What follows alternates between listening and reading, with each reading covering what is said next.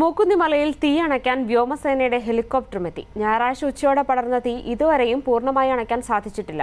Radar സ്റ്റേഷനും firing ബഡ്സും അടക്കം സൈന്യത്തിന്റെ തന്ത്രപ്രധാന കേന്ദ്രങ്ങൾക്കടുത്താണ് തീ പടർന്നത്.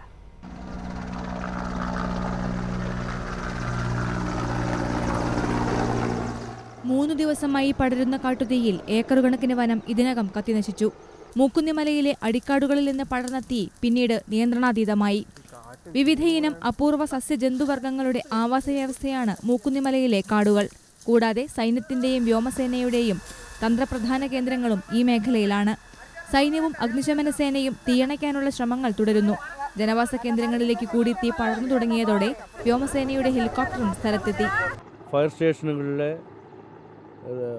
ഉദ്യോഗസ്ഥന്മാരുടെ സേവനം ഉപയോഗിച്ചിട്ടും തീ അണയ്ക്കാൻ പറ്റാത്ത സാഹചര്യത്തിലാണ് ഹെലികോപ്റ്ററിന്റെ സേവനം തേടേണ്ടി വന്നത്.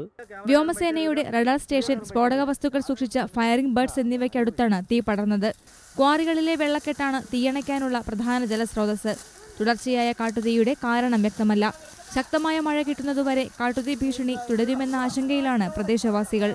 ഏഷ്യാനെറ്റ് ന്യൂസ് തിരുവനന്തപുരം.